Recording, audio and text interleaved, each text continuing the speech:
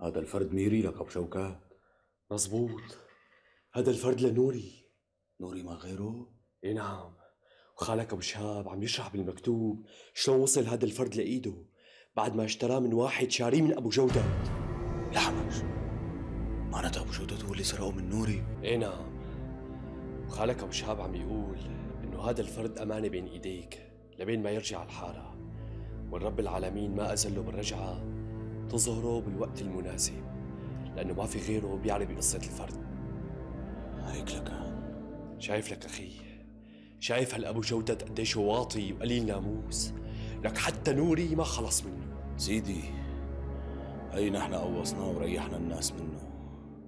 شو بدي لك أخي؟ يستر عرضك. ما بدي مخلوق يخلق يعرف بقصة هذا الفرد ها؟ شو عم تحكي لك معتز؟ مو عيب؟ هيك بدي إياك أبو شوكات. احرق لي المكتوب لك